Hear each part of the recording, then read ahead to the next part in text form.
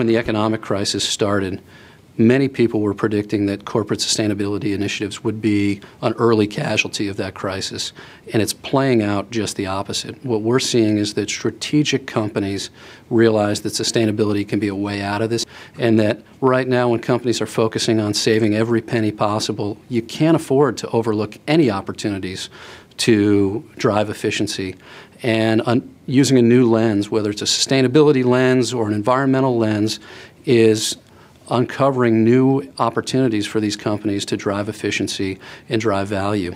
I think, I think the answer is that environment and financial performance are actually tied together. They're not mutually exclusive. And there are a number of case studies out there that you can point to to show that focusing on the environment will drive better financial returns for your company. Right now, we're working with KKR, one of the world's largest private equity firms. They have a portfolio of 40 plus companies around the world. And from the environmental perspective, this is incredibly exciting because by working with one company, we can take a project to scale across a whole portfolio of companies. And what KKR and other private equity leaders are really good at is measuring and managing financial returns. Our hypothesis here was that if you layered in environmental management on top of that process that we already know works, we could find new opportunities to drive both business results and benefits for the environment. And that's what we've done. We started working with just three of their portfolio companies U.S. Food Service, Prime Media, and Sealy Corporation. And in one year, we found uh, over $16 million in cost reduction opportunities and 25,000 tons of greenhouse gas reductions. That's at three companies out of a portfolio of 45.